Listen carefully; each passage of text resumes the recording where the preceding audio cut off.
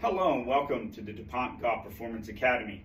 Today we're going to be talking about one of my favorite drills to help people that struggle with the over the top move.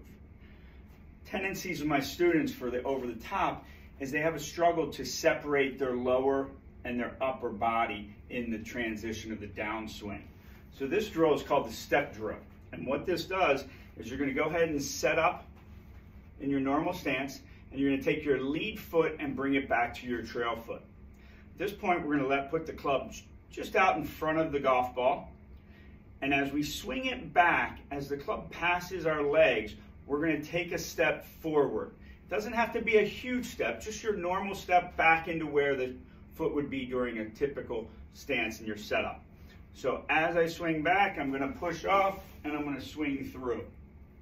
This is going to help me separate my upper body and my lower body in transition to create the club and give the ability to be able to drop the club back down into the slot where I can go ahead and swing through on plane.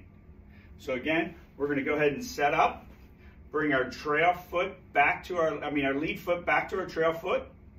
We're going to start the club out in front of the ball, and as the club swings past our legs, we're going to take a step towards the target and then go ahead and swing through.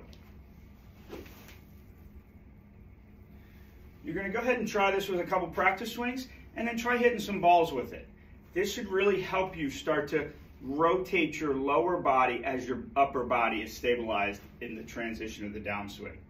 I hope this helps you. We look forward to seeing you out here at the Golf Academy and have a wonderful and happy holiday.